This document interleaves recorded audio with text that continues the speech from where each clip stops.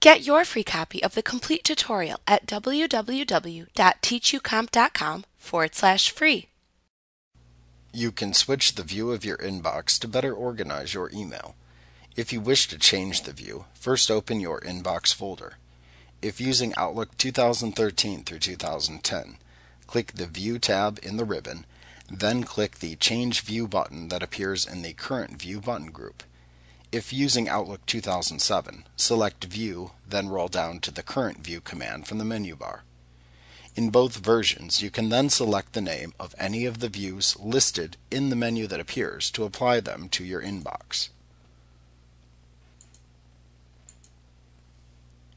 You can also choose the Manage Views command called the Define Views command in Outlook 2007 from this menu of views that appears in order to open the Manage All Views dialog box called the Custom View Organizer in Outlook 2007, which is the same dialog box that is used to customize the view of the Contacts folder.